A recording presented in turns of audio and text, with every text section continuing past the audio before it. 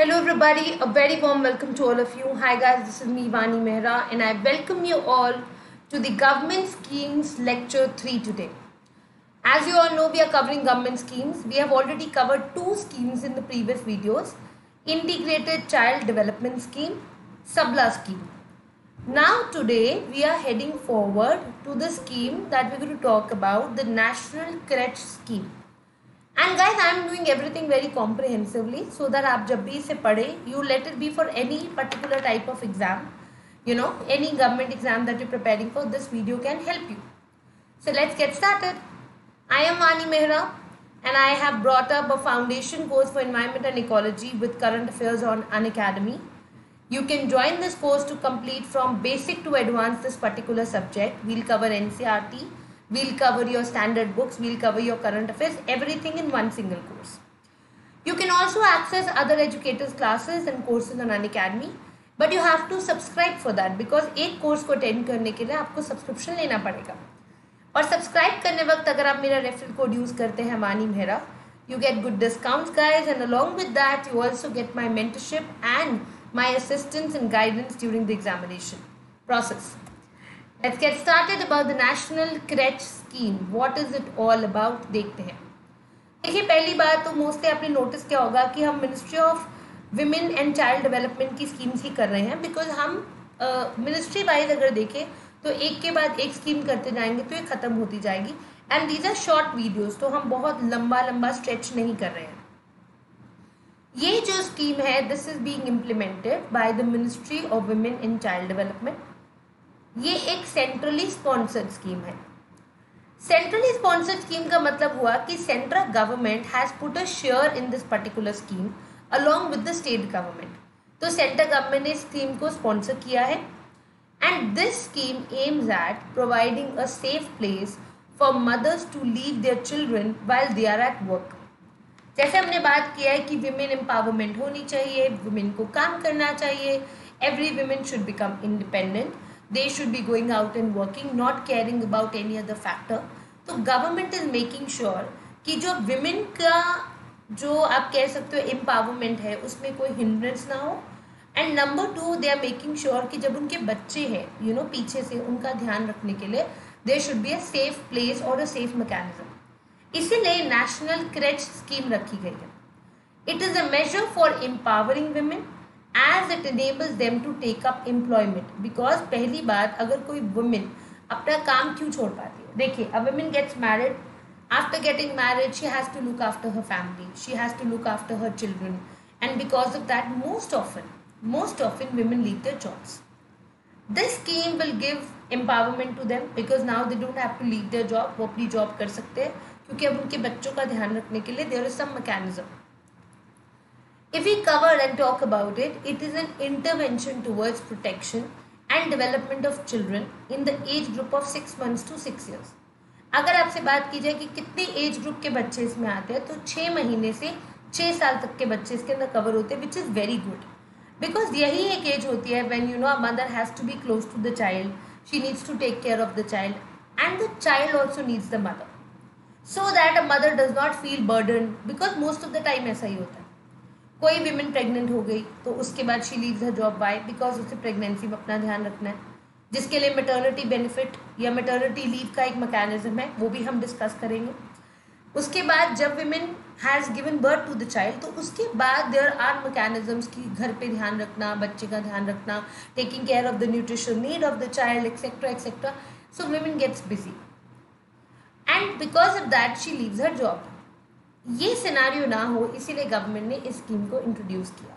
ये आपके यूपीएससी के मेंस के लिए बहुत इंपॉर्टेंट है और प्रिलिम्स के लिए। प्रिलिम्स में ऐसे क्वेश्चन आ सकते हैं कि एज ग्रुप क्या कवर होता है, कौन सी मिनिस्ट्री है और इनका मेन ऑब्जेक्टिव क्या है। इस तरह के क्वेश्चन प्री में। और मेंस में अगर आपको आए कि यू नो वर्किंग वुमेन के लिए क्या इनिशिएटिव दिए गए हैं तो आप उसमें इसको एक एज एन एग्ज़ाम्पल लिख सकते हैं। फीचर्स की बात करें तो it provides for day care facilities to the children of working mothers provide supplementary nutrition health care inputs like immunisation polio drops basic health monitoring sleeping facilities early stimulation for children below three years preschool education for children age between three to six years आप सब जानते हैं कि six to fourteen years हमारे यहाँ right to education में cover हो जाता है। तो बच्चे की जो प्री स्कूलिंग है, कहीं ना कहीं रह जाती है। ये जो पर्टिकुलर स्कीम है, ये उनके प्री स्कूलिंग का ध्यान रखेगी from three to six years के बीच में। सेकेंडली उन बच्चों के स्लीपिंग साइकिल का ध्यान रखना, उनकी हेल्थ को मॉनिटर करना बेसिक इम्यूनाइजेशन प्रोग्राम्स उनकी वैक्सीनेशन जो है, उन्हें टाइम पे मिल जाए तो उस चीज़ का ध्यान रखा जाएगा because of this particular scheme that is National Creche Scheme तो इसका मतलब ओवरऑल जो कंसर्न है एक पेरेंट के या मदर के वो एड्रेस करने की कोशिश की गई है। So this is one of the main features of this particular scheme significance क्या है? आपको मैंने फ़र्स्ट लेक्चर में बताया था अम्ब्रेला आईसीडीएस के बारे में कि यू नो जो इंटीग्रेटेड चाइल्ड डेवलपमेंट स्कीम है, वो काफ़ी चीज़ अपने अंदर कवर करती है। अब जैसे National Creche Scheme is one of the parts of this Sabla scheme was one of the part of Integrated Child Development Scheme let me understand ये हम सब पार्ट की बात कर रहे हैं। अगर आप स्कीम को देखो दिस इज़ अब part of the you know I C D S scheme जो हमने फ़र्स्ट डे क्लास में किया था। So it is to provide day care facility for children from six months to six years of working mothers provide nutrition and health status promote physical cognitive social and emotional development जिसे हम holistic development भी बोलते हैं बच्चों की and educate and empower parents और caregivers for better child care ये जो स्कीम है, ये फैसिलिटी इनेबल करेगी for the parents to leave their children while they are at work and where the children are provided with a stimulating environment for their holistic development इस चीज़ को ensure किया गया है and this scheme ensures to improve the health and nutrition status of the children एक बच्चे की health का ध्यान रखना और साथ ही साथ न्यूट्रिशन का ध्यान रखना इज़ वेरी इंपॉर्टेंट तो वो इस स्कीम में इंश्योर किया जाएगा। It also promotes physical social cognitive and emotional और holistic development of the children एक बच्चे की ओवरऑल डेवलपमेंट होना बहुत ज़रूरी है। सोशल डेवलपमेंट कि वो लोगों के साथ इंटरेक्ट कैसे करे बिहेव कैसे करे। फ़िज़िकल डेवलपमेंट प्रॉपर डाइट ले वो, उसका जो वेट है with respect to his age और हाइट है, वो सब कुछ ग्रो होना चाहिए। इमोशनल और holistic development he should not feel alone सबसे बड़ी बात यह कि वो अपने मदर से दूर नहीं फील करना चाहिए फैमिली से दूर फील नहीं करना चाहिए। तो एक holistic emotional development how to react on a certain thing ये सब चीज़ें इसके अंदर कवर होती है। It also educates and empowers the parents और caregivers for the better child care उन्हें भी पता लगता है कि एक बच्चे का ध्यान कैसे रखा जाए। बेसिकली पेरेंटिंग का और केयर टेकिंग का एक एग्ज़ाम्पल सेट होता है। This scheme is being structurally revise with the enhance financial norms stringent monitoring and sharing pattern between government of India and implementing agencies and NGO सबसे बड़ी बात यह है कि किसी भी स्कीम को इम्प्लीमेंट और सक्सेसफुल होने के लिए उसके स्टेक होल्डर्स का पता होना बहुत ज़रूरी है। इस पर्टिकुलर स्कीम में स्टेक होल्डर्स है parents government of India implementing agencies और एन जो इन सब चीज़ों पे ध्यान रखेंगे साथ में। केयर गिवर्स और केयर टेकर्स वॉट ये सारे स्टेक होल्डर्स हैं एंड चिल्ड्रन तो जब ये सारे स्टेक होल्डर्स कवर हो जाएँगे that mean the scheme is working very well eligibility criteria का अगर मैं बात करूँ तो state government voluntary institutions Mahila Mandals with the no report of service in the field of Child Welfare Department and registered under the Society Registration Act of 1860 or registered as a public trust at least for a period of last two years are eligible for applying for financial assistance from the fund. अगर किसी को national credit scheme के under आना है for example तो पहली बात state government कोई वॉलंट्री इंस्टीट्यूशन हो सकता है, महिला मंडल्स हो सकती है, जिन्हें पता हो यू नो फ़ील्ड के बारे में चाइल्ड वेलफेयर डिपार्टमेंट के बारे में, और वो रजिस्टर्ड होने चाहिए under the Society Registration Act ऐसे नहीं कि अनरजिस्टर्ड हो। इसका मतलब डॉक्यूमेंटेशन इज़ वेरी इंपॉर्टेंट और किसी को भी ऐसा चांस नहीं मिलेगा फ्रॉड करने के लिए। Then you know for a period of last two years उनके रजिस्ट्रेशन हुई होनी चाहिए। And they are eligible for applying for the financial assistance from the fund अगर उनको पैसे भी चाहिए तो वो फंड में से मांग सकते हैं। फंड शेयरिंग किस तरह से होती है? मैंने क्लास बिगिन करने वक्त, इस लेक्चर को बिगिन करने वक्त आपको बताया था this scheme is a centrally sponsored scheme So fund sharing pattern under the National Care Scheme among center, states or UTs and non-government organizations or voluntary organization for all recurring components of scheme is in the ratio of 60 is to 30 is to 10.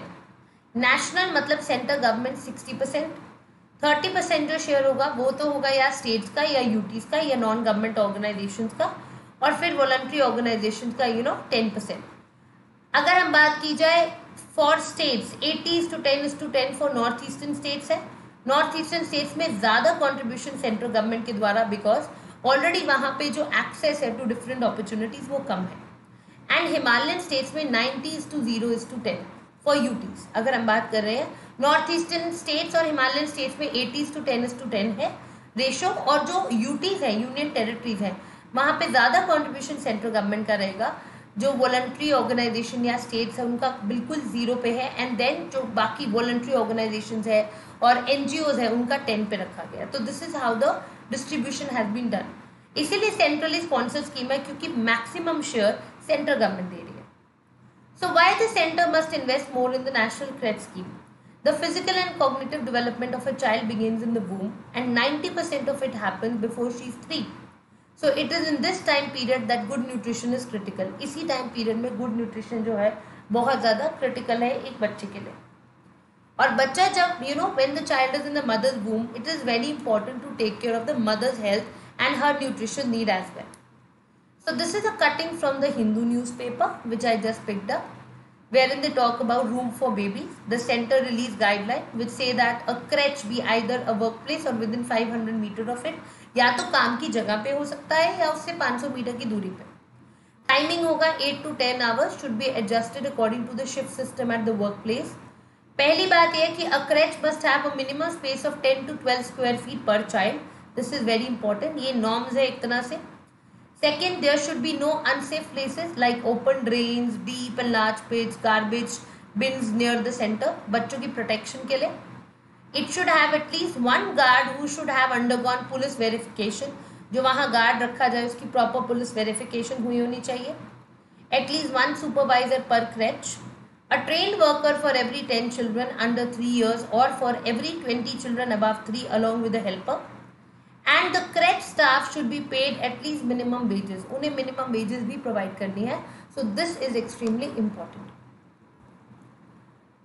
so guys ये बिल्कुल current affair का हिस्सा है, जो मैंने उठाया है from budget 2020 कि उसमें एलोकेशन कैसे की गई है। देखिए total allocation for centrally sponsored scheme 2020 के बजट में की गई ऑफ़ रुपीज़ ट्वेंटी करोड़ और अब बूस्ट दिया गया of rupees three crore from the last fiscal उससे ज़्यादा बढ़ाया गया। So allocation to national creche scheme has also been increased from rupees 50 crore to rupees 75 crore अब ये सारा डाटा आपको मेंस में आंसर राइटिंग में काम आता है that is why tell you कि मैं जब भी कोई टॉपिक कवर करती हूँ चाहे वो आपकी ये फ्री सेशन हो ऑन यूट्यूब या फिर अन अकेडमी प्लस में मेरे कोर्सेज प्री और मेन्स दोनों के परस्पेक्टिव से I give you things The scheme aims to enable working women to safely leave their children creches while they are away at work. तो definitely women को सबसे ज़्यादा जो कंसर्न है, उसे पूरा करने के लिए। And yes the government has increase the budget तो ये एक एडिशनल पॉइंट है जो आप एड ऑन कर सकते हो।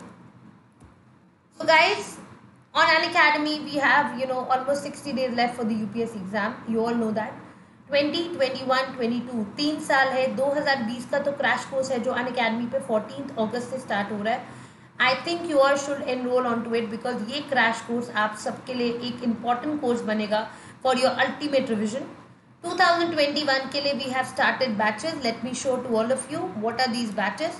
21 के लिए हमने हिंदी का batch complete Hindi language Hindi है मटेरियल हिंदी है बायलिंगुअल बैच यूपीएससी सीएसई 2021 का कोर्स एक्सपीडिशन बैच हमने ये लॉन्च किया है टेंथ अगस्त के लिए ये फुल ईयर बैचेस है अगर हम बात करते हैं आपके मिशन 2020 तो उसमें बायलिंगुअल बैच भी है और आपका you know bilingual crash course mains का भी है और प्रीलिम्स का भी है तो this is a golden opportunity enrol on Unacademy plus use my referral code Vani Mehra to get discount and also my guidance and help and expert advice on this exam.